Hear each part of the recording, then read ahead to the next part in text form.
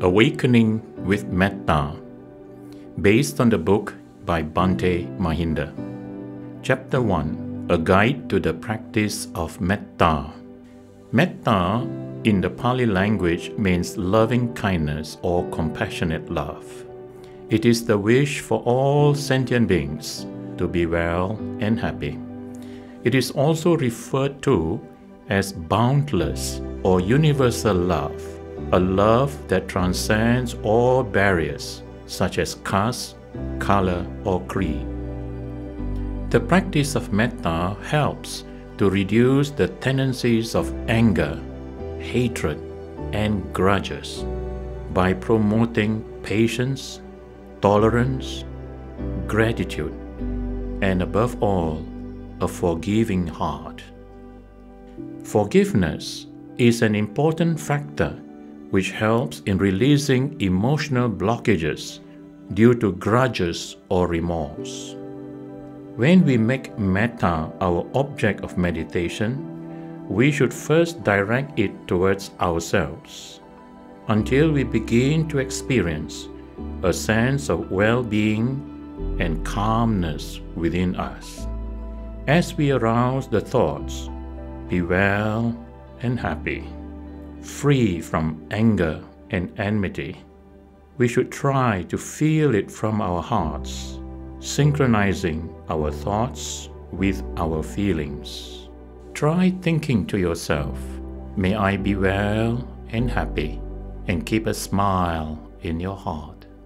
Pause for a few moments and try to feel a sense of well being. Suffuse your whole being with this feeling of calm and peace. When you are able to do this, then you should learn to radiate loving kindness in all directions above, below, and all around until your aura of calm fills the whole room. Then continue to radiate out to the whole building, to all the surrounding areas, all the neighborhood, covering the whole suburb or village, and to the whole city or township, then to the whole country, the neighboring countries and islands, covering the whole world. Alternatively, we can direct our minds and send metta to the ten directions north, northeast, east, southeast, south, southwest, west, northwest, above, and below. After radiating metta in all directions, you may go on to direct metta to individuals, beginning with those who are near and dear to you.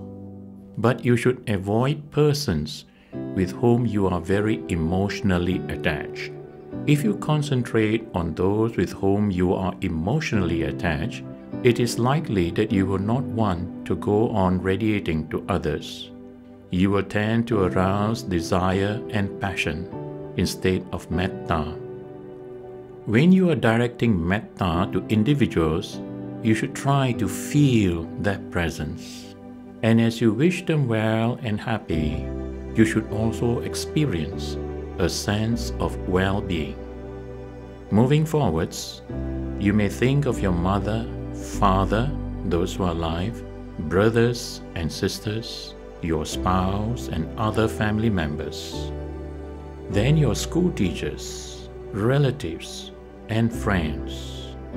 Once you are able to radiate loving kindness to those who are near and dear to you, you should go on to those who are neutral, less well known, or even unknown to you. This could include your neighbors or passerbys in the streets. You take up these people in your mind and then wish them to be well and happy. After you are able to radiate to those who are less well known to you, you are ready to extend metta to those who are hostile or unfriendly towards you. These may include people with whom you have had quarrels or misunderstandings, or who are simply unfriendly. They could be within your own family circles, your relatives, colleagues at work, or friends in schools or universities. If you can truly wish for the well being of those who are unfriendly or hostile towards you, then you have learned to break barriers and your metta will become more established. You will begin to develop a more forgiving heart, which will help you to clear certain emotional blockages that have developed during your childhood or younger days in this life or even in your previous lives. When these emotional blockages have been cleared through seeking forgiveness from others, forgiving others, as well as forgiving yourself, your heart will become lighter and you will be happier and more cheerful. Metta helps to soften your heart. We become more humble and able to seek forgiveness from others. However, in order to be able to forgive others and also forgive yourself, you need to have some wisdom and understanding. Firstly, we need to understand that all those who have cheated, hurt, or abused us have done so not with wisdom and understanding, but through ignorance. Secondly, we need to understand that whatever happens to us has a reason. There are certain causes and conditions. We reap what we sow. If upon reflection we realize that we do not deserve the ill treatment we receive from others as we have not done anything wrong towards them, then we have to consider that what we are experiencing in the present is the result of what we have done in the past. If not in this very lifetime, it could be in our past lives. Realizing that the pain we are going through is the result of our own unskillful actions in the past, we will begin to develop a sense of compassion for those who harm us. For they do not realize that they will have to go through this pain one day. So let us forgive them, for they know not what they do. Thirdly, in order to forgive ourselves, we must realize that all the wrong and foolish actions we have done have been performed as a result of ignorance. Now that we have the opportunity to come to the Dhamma and to realize what is good and bad, we need to aspire to and make an effort to set ourselves on the right course, to avoid all evil, to do good, and to purify our minds. We need to acknowledge our mistakes and determine from now on to walk the right path. This is how we can forgive ourselves and be released from the burden of remorse and a guilty conscience. Many health problems are related to anger and other negative emotions. The release of emotional blockages through metta and the practice of forgiveness has great therapeutic value. Metta will also help to prevent one from falling into states of depression and keep the mind healthy and happy always. In the Metta-nisangsa Sutta, the Buddha spoke of 11 benefits or advantages from the practice of metta or loving kindness. The first three are related to our sleeping habits one who practices metta daily will be able to sleep well, wake up easily, and be free from nightmares or bad dreams. Metta promotes the true spirit of friendship or friendliness. As such, human beings will be near and dear to you. You will be able to make friends easily. Even animals will love you and wild animals will not harm you.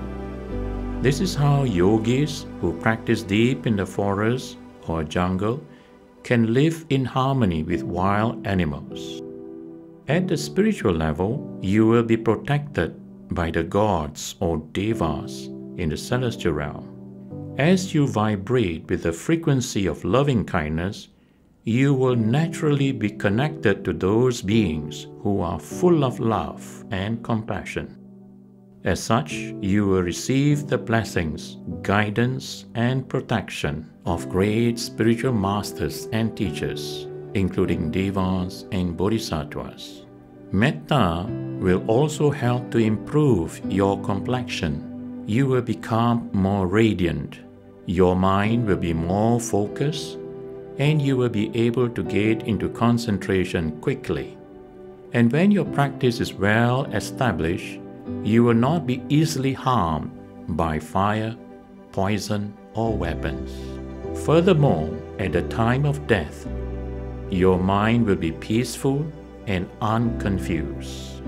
This will lead to good birth, that is, in the higher and happier realms of existence. The formula for the practice is based on three aspects of one's well being.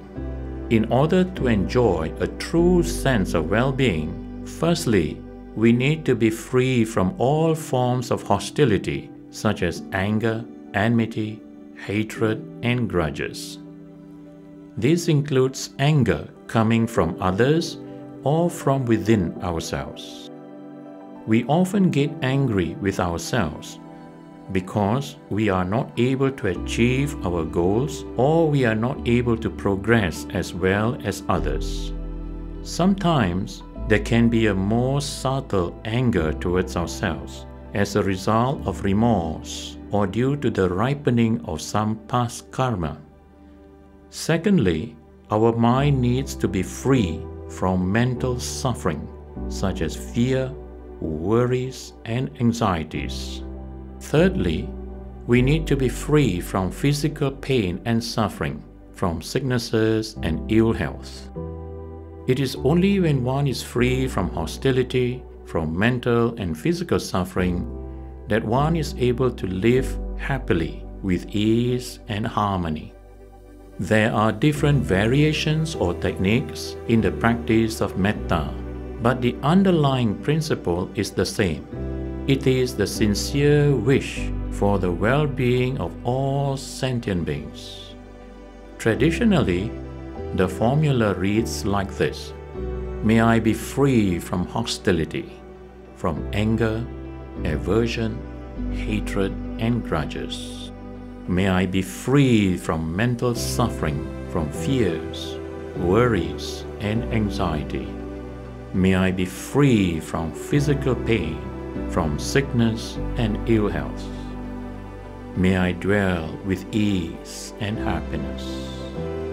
Just as we have these good wishes for ourselves, so do we wish others. May others be free from hostility, from anger and enmity, hatred and grudges. May they be free from mental sufferings, from fears, worries, and anxiety. May they be free from physical pain, from sickness and ill health. May all dwell with ease and happiness. We should cultivate metta or loving kindness again and again until it become a part of ourselves. The practice of metta should not be confined to sitting sessions alone it should be applied in our daily encounters with people or situations, especially those which arouse anger or aversion in us. Whenever anger or aversion arises, just tell yourself, be well and happy. Be free from anger and enmity. May others too be well and happy free from anger and enmity. In the beginning, this may not seem natural, but as we develop this habit more and more, it will eventually become part of our response mechanism. It is good to commence the day with at least 10 to 15 minutes of metta in the morning and then in the evening before going to sleep. Metta meditation can be practiced in all the four postures standing, sitting, walking or moving, and lying down or sleeping. When loving kindness becomes part and parcel of oneself, then one does not have to think about how to radiate metta anymore. Loving kindness or compassionate love will always be present. One will always wish others well. Real metta will flow naturally when one's heart becomes truly empty. Empty of greed, hatred, and delusion. This will lead to the true awakening of our hearts.